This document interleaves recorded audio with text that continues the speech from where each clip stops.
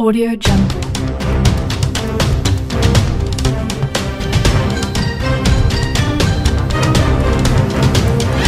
Audio Jungle.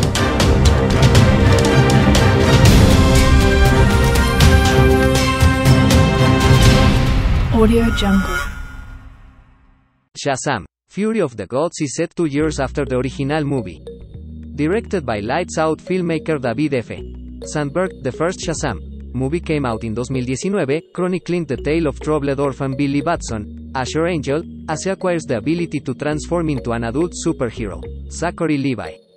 Critically Shazam was praised for its lightheartedness and joyful overtones, and commercially too, the film performed well at the box office, netting 366 dólares million worldwide against a budget of 80 dólares menos 100 million. Given its success, W&DC Films quickly put a sequel in development, which is currently scheduled to premiere on June 2, 2023. Last Saturday, fans got their hands on many important details from Shazam, thus when the BTS trailer for the movie was unveiled at the DC FanDome.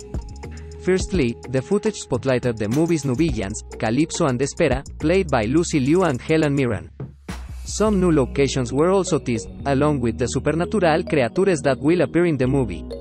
The trailer also provided a good look at the returning cast, including Angel, Jack Dylan Grazer, Faithe Herman, Ian Chen, Grace Fulton, and Jovan Armand, among the teenagers. Plus, Levi, Adam Brody, Meagan Good, Ross Butler, and D.J.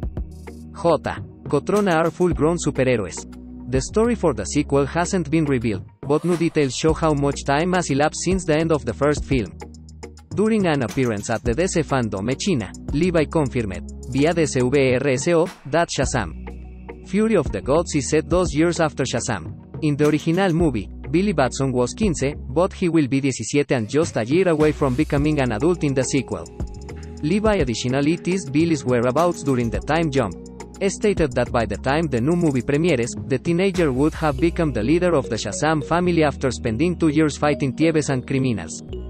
Click here to view the original tweet it makes sense for Shazam, thus to be set some years after the original film, as otherwise, it would be hard to explain how the teenagers have grown up so much. Right from when the sequel was greenlight, Sandberg has been trying to hurry work on the film, as if read that if too much time passes by, the young cast will become too old to play their parts convincingly. This is the reason why, although Shazam, those won't release for a full two years, production on the movie has already been completed.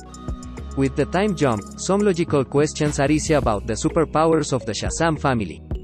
Since Billy will be just a year away from turning 18 in Shazam, thus, it will be interesting to see if he can still transform into his grown-up alter ego after he is an adult.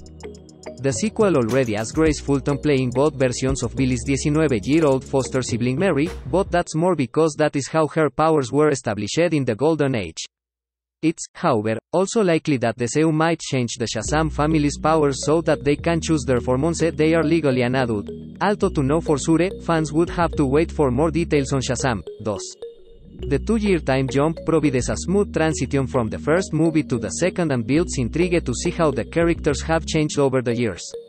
Source, DC FanDome China, vía DCVRSO.